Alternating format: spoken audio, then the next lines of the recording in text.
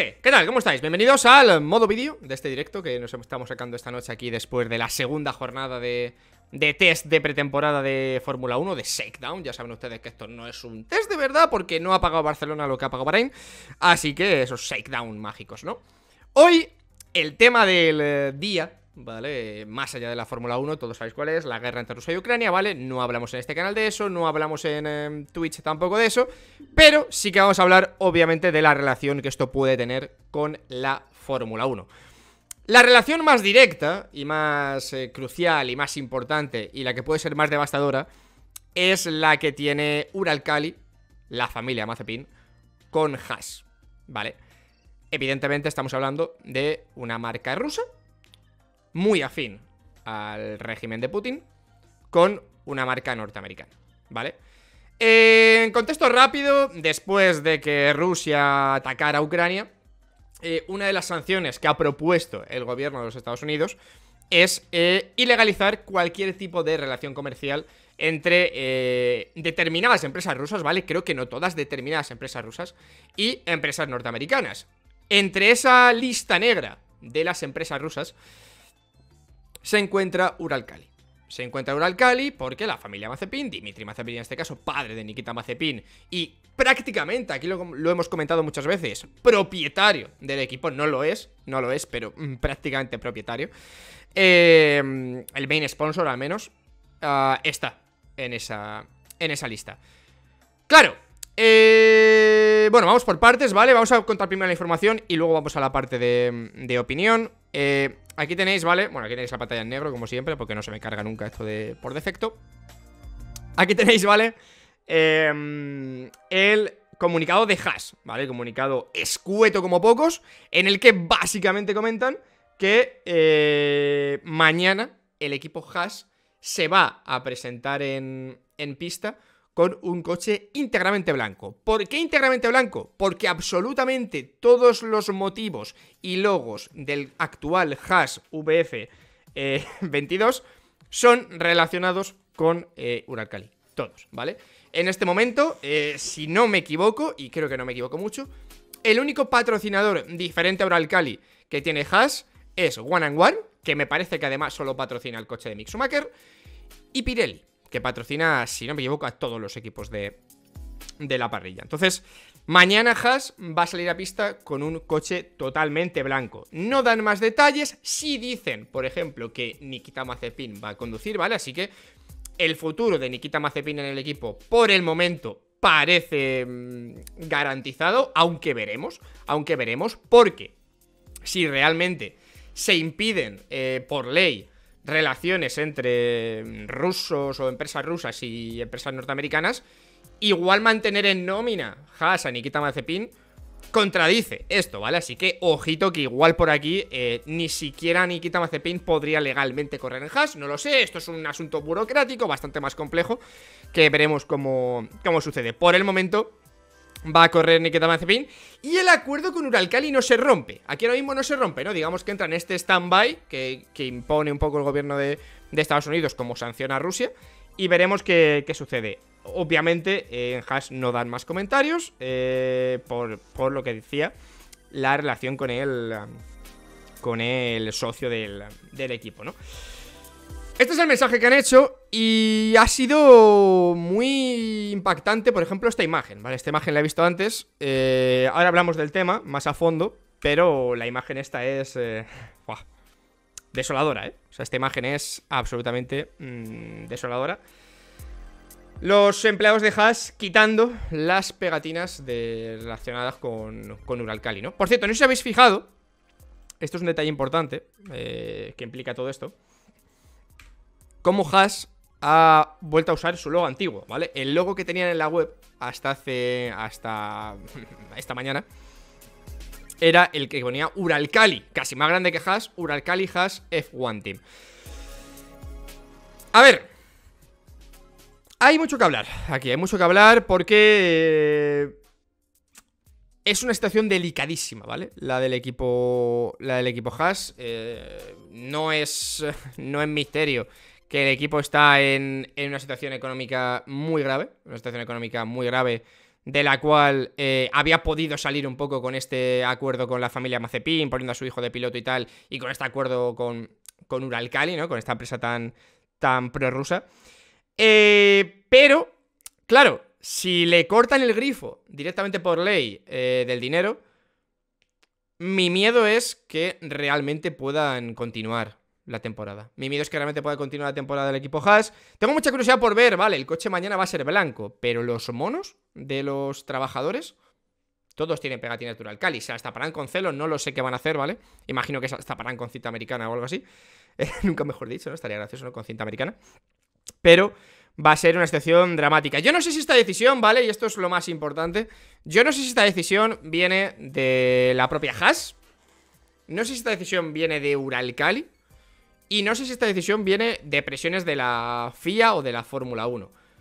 Pero eh, que supone un problema para Haas es evidente, ¿no? Eh, yo creo, creo que es una decisión lógica por todos y cada una de las partes. Hasta Uralcali yo creo que aquí es consciente de que no conviene ahora mismo mostrar tu marca, porque puedes generar más rechazo que empatía. Creo que en este momento hasta Uralcali son conscientes y estoy seguro que aquí no ha habido enfado de Uralcali por hacer esto, porque evidentemente es que lo tienen que hacer.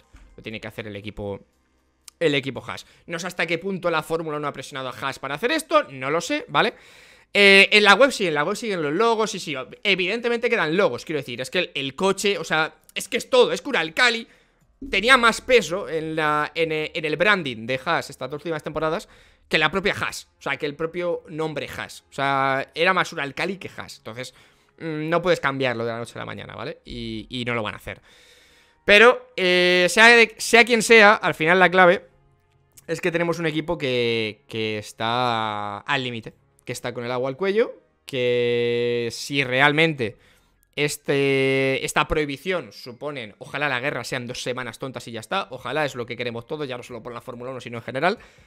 Pero si no es así, em, me temo que el futuro de Haas es inviable, excepto que encuentren un nuevo patrocinador principal y o la propia Fórmula 1 de alguna manera, directa o indirecta, em, les apoye, les apoye, ¿no? Creo que puede suceder, creo que puede suceder por el sentido de, de tener en plantilla un piloto como Mick Schumacher, hijo de Michael Schumacher, creo que interesa mantener a, a Mick Schumacher en Fórmula 1. Y sobre todo, uno de los rumores que está creciendo esta tarde, lo que pasa es que es verdad que no he visto ninguna fuente oficial eh, ni ningún interés por parte del propio equipo Andretti, no se puede ser tan, tan carroñero ¿no? en este momento de hacerlo, pero todos somos conscientes de que Andretti ha mostrado interés por entrar a la Fórmula 1 en 2024. Evidentemente esta puerta, la de la posible caída de Haas, la de la posible venta obligatoria del equipo Haas, eh, de no poder mantenerse en la categoría si, si finalmente tienen que romper este trato con, con Uralcali. Está ahí, ¿no? Está ahí. Para esta temporada no. Evidentemente para esta temporada yo creo que no se podían registrar, salvo que hicieran algo eh, del estilo Racing Point en 2018, si no recuerdo mal, cuando compran eh, Force India y lo, renombran como Racing Point. Eh, no lo sé, no lo sé, no lo sé. Es una situación delicada, es una situación confusa. Yo creo que el futuro de Haas como equipo Igual se mantiene por eh, algún tipo de adelanto de pagos de parte de la Fórmula y tal. Ahora mismo la situación es dramática, quiero decir, no tienen más patrocinadores que no sea Uralcali, no tienen más patrocinadores, o sea, es que no hay más, ¿vale?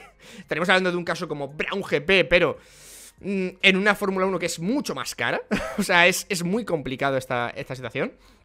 Y el futuro que veo muy, muy, muy oscuro es el de Nikita Mazepin. Eh, evidentemente, si no hay pasta de un Alcali, y Nikita Mazepin muy seguramente no seguiría siendo piloto de, del equipo Haas. Si no es que directamente no le permiten competir por eh, el hecho de relación entre mm, empleado ruso y, empresa, empresa norteamericana, ¿no? Y la relación que evidentemente tiene con su padre por ser el dueño de, de la empresa de la empresa Uralcali. Es, es una movida, o sea, resumen rápido, es una movida, ¿vale? Eh, son, pues, consecuencias que tiene la guerra moderna, ¿no? Al final vivimos una sociedad muy global, el capitalismo nos une a todos, ¿vale? Y al final junta el destino, ¿no? El curioso destino, una empresa norteamericana que sobrevive gracias a una inversión de capital ruso, ¿vale? A una inversión de capital ruso. Entonces, la situación es delicada. Desde luego la Fórmula 1 no se puede permitir, la Fórmula 1 no se puede permitir perder un equipo. No pueden permitirse que la temporada empiece con nueve equipos solo en parrilla, porque sería bastante negativo para la categoría en sí. Eh, tampoco se puede permitir la categoría mostrar eh, pegatinas de una empresa tan afín al régimen de Putin como es el caso de, de Uralcali. O sea, es una situación delicadísima para todos los aspectos, una situación delicadísima. Entonces, ¿qué va a pasar en este momento? No lo sé. Es imposible saberlo. Yo lo único que sé es que es difícil tener más mala suerte que Haas con los patrocinios, ¿vale? O sea, primero Rich Energy, que eso sí que fue culpa suya, ¿vale? Por confiar en una empresa tan random. Y que al final eso les llevara un poco a eh, tirarse a lo primero que vieron, que en este caso fue eh, Uralcali, ¿no? Con ese main sponsor que el año pasado les dio oxígeno para, para mantenerse en la categoría cuando todo apuntaba que igual se quedaban fuera. Eh, vamos a ver qué pasa. Vamos a ver qué pasa. O sea, yo creo que es la situación más delicada que hemos vivido en mucho tiempo en la Fórmula 1 para que un equipo desaparezca. Porque el año pasado, recuerdo, no sé si os acordáis cuando también hablamos de que Haas tenía algunos problemas por aquellos vídeos de Mazepin, que si deberían, no deberían dejarle correr en Fórmula 1, no sé qué tal. Pero nunca llegó al nivel de gravedad de esto, que al final estamos hablando de una tercera, de una posible guerra. Bueno, una posible no, guerra ya existe, ¿no? Esperemos que no escale a guerra mundial. Y, el efecto de esto es muy negativo para, para, para Haas, para Nikita Mazepin, que yo soy el primero que no quería que este chico subiera a Fórmula 1. Eh, ya no solo por su carácter deportivo, eh, deportivamente tampoco ha demostrado tantos méritos para estar en la categoría reina, lo he dicho mil veces. Y a mí el vídeo aquel, por ejemplo, me pareció un extra. El chico me parece un tío que sobra en la Fórmula 1, pero independientemente de eso, eh, tampoco me gustaría que la manera de perder la plaza en la categoría fuera por algo tan tan extra, tan extra deportivo. Entonces, eh, veremos qué, sucede. Por supuesto, esto también tendrá consecuencias a nivel de Gran Premio de Rusia. Yo creo que no se va a hacer. De hecho, Sebastián Vettel hoy, muy valiente por su parte, eh, ha dicho directamente que él cree que no se debería correr en esta situación de guerra y que si se celebra igualmente, él no va a ir. Recordemos que el Gran Premio de Rusia es en septiembre es en septiembre. O sea, el Gran Premio de Rusia es en septiembre. Igual en septiembre espero y deseo que a lo mejor ya no haya conflicto bélico como tal. No lo sé, veremos qué pasa. Lo lógico, lo lógico, aunque de la Fórmula 1 igual pedirle cosas lógicas es, es, complicado, es que se cancele este Gran Premio y se sustituya por otro directamente, ¿vale? Ya veremos el año que viene. Pero, eh... Bueno, todas las consecuencias que tocan, ¿no? Eh, Gran Premio de Rusia se puede ir fuera. Eh, Nikita Mazepin eh, veremos. El Uralcali de Haas en este momento no rompe relación con el equipo Haas, pero sí que no va a aparecer como, como sponsor del equipo, al menos en el coche. Mañana el coche enteramente pintado de blanco va a ser un drama. O sea, mañana las imágenes del coche pintado de blanco, seguramente los mecánicos y los empleados con los logos de Uralcali tapados con cinta americana va a ser una cosa dantesca, de ver, absolutamente dantesca. Y al final, todo esto se reduce a eh, que en Haas, igual que en cualquier equipo de Fórmula 1, trabajan personas eh, y que pueden perder su trabajo. Que al final es lo más grave. Es lo más grave. Que puedan, que puedan perder su trabajo por, razones totalmente ajenas a, ellos, ¿no? Eso es lo peor. Lo peor de todo. Yo espero que no pase. Ojalá, de verdad, ojalá eh, en el peor de los casos, pues sean absorbidos por una empresa como Andretti o algo así que, que pueda mantener un equipo de Fórmula 1 y pueda mantener un poco la estructura de Haas en, Fórmula 1.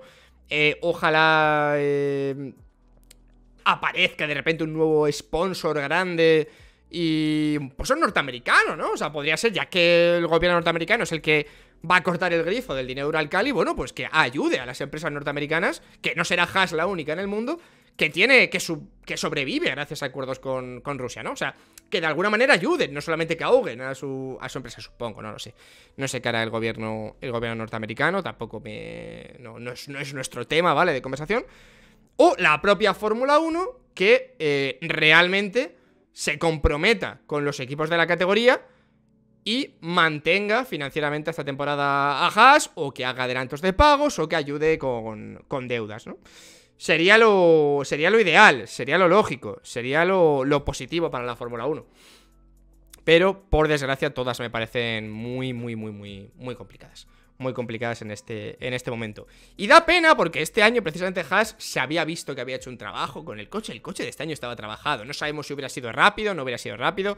De hecho, hoy, por ejemplo, Nikita Mazepin se ha quedado tirado en, en, la pretemporada, en esta sesión, una bandera roja ha provocado. O sea, no sé si hubiera funcionado o no bien el coche, en este momento es casi lo de menos, pero eh, desde luego se había trabajado en este coche, ¿no? Después del año pasado subsistir a, malas con, el patrocinio Última Hora Dural Cali, este año sí parecía que, que había argumentos para creer que si volvían a ser últimos, al menos no iban a ser tan últimos como el año, como el año pasado. Así que Veremos, veremos. A mí esto me da pena. Y ya digo, ya no solo por Haas, porque es un equipo al que le tengo una especial simpatía, ya lo sabéis. O sea, ahí tengo la bandera, ¿vale? Tengo la camiseta. Sabéis que es un equipo que, pues me queda bien, porque durante muchos años creo que, que era un equipo que se había mantenido a base de, de políticas que me gustaban, ¿no? Sin apostar necesariamente por pay drivers y ese estilo. Eso ha llegado ahora en la última etapa. Y, me gustaba la filosofía del equipo, del equipo Haas en ciertos, en ciertos aspectos. Pero ahora Ahora es un, es un problema. Y esta imagen es... Esta imagen es... Esta imagen es dura. Esta imagen es, es muy dura. La de los eh, pilotos, la de los mecánicos quitando las, las pegatinas. Por cierto, quiero decir y quiero aclarar, ¿vale? Aprovecho para hacer un poquito... ¿Cómo se dice esto? Eh, Cuando, cuando reconoces un error, ¿cómo se llama? Mm, no lo sé. Desde luego, en internet no se hace. Así que imagino que no lo conoceréis. Pero yo he puesto hoy esto en Twitter, ¿vale? Porque estaba convencido y me hubiera jugado el brazo derecho Fede Ratas. Eso es. Eh, gracias, gente. Eh, o sea, me hubiera jugado el brazo derecho a que Hash en Twitter tenía puesto Uralcali Hash F1 Team de nombre y en el logo y en el avatar tenía puesto el logo de Uralcali. Estaba convencido, pero al nivel de que os juro, me dices apuéstate algo y me lo ha puesto. Y no, ¿vale? He usado la página esta que se llama Wayback Machine, porque alguno me la habéis recordado por aquí por comentario, me habéis dicho, oye, eh, Fons, que no, que mira, que tenían este, esta foto y tal. Y es literalmente lo que he puesto aquí, efectivamente. Un efecto Mandela increíble, que además habéis tenido muchos. A la vez que lo he dicho yo, eh, no sé si por, por haberlo dicho yo os he inducido a error, pero yo estaba convencido, os lo juro, de que lo tenían puesto tanto el logo de Uralcali Hash como el nombre de Uralcali Hash en, en Twitter, ¿vale? Eh, bueno, al final no he borrado el tweet porque lo importante de este tweet eh, era, era a partir de aquí, o esto de la guerra es algo pasajero de dos semanas, o el futuro del equipo norteamericano se divide en dos caminos, disolución 90, eh, que sin el dinero ruso el proyecto es prácticamente inviable, ¿vale? Esto es lo que, lo que yo pienso y es lo importante del tweet. Pero es importante recalcar que, coño, pues, que, no, que, realmente nunca lo tuvieron. Me he ido a la página de Wake Machine y es verdad que nunca lo tuvieron. Así que, mm, no lo sé. Eh, me lo había imaginado como que sí, ¿no? Una cosa un poco... un poco luego por aquí por el chat eh, y luego en comentarios decidme en el vídeo si realmente vosotros también lo queríais. Porque lo creíais, ¿no? Porque a mí me sonaba un montón, estaba convencido. Pero bueno, eh, tanto Perú Alcali, ¿no? En la web sí lo tenían, por supuesto, en la web sí y tal, en todos esos sitios sí lo tienen. Pero en redes sociales no, no lo tenían ciertamente. Así que, bueno, es importante, importante destacarlo. Em, bueno, nada más, esto quería aclararlo, ¿vale? Por si alguien se leyó este tweet y se pensó esto, pues no, eh, no lo quitan de Twitter, aunque luego después, a la hora y media, eh, salió el comunicado que os enseñé al principio de que van a eh, ocultar los logos de, de, de Uralcali, ¿no? Así que veremos, esto es, por desgracia, opacado un poquito hoy la sesión de pretemporada, Ah, lógicamente, es que al final es una movida bastante tocha. Pero, pero bueno, eh, esperemos que no pase nada. O sea, quiero decir, lo primero, que, la guerra vaya menos cuanto antes, ¿vale? Que, que se cobre la menor cantidad de víctimas mortales posibles, eso es lo más importante, ¿vale? Más allá de Fórmula 1, evidentemente. Y lo segundo, que ojalá no afecte a la, a la viabilidad del equipo Haas en Fórmula 1. Si no es con Uralcali, pues que sea con otra, con otra marca, evidentemente, ¿no? Así que nada. Eh, dejo por aquí esta parte de directo hablando del tema Haas. Ahora seguimos hablando por el chat nosotros tranquilamente. Y la parte de vídeo, ¿vale? La parte de vídeo de, de Haas dedicada a este tema, pues la mando ya para Fórmula Fons. Y os recuerdo que ahora en Twitch, pues estamos pues, muy activos, ¿no? Ahora que empieza la temporada de Fórmula 1. No siendo este canal solo de Fórmula 1 el de Twitch, pues hombre, se va a hablar bastante del tema. Así que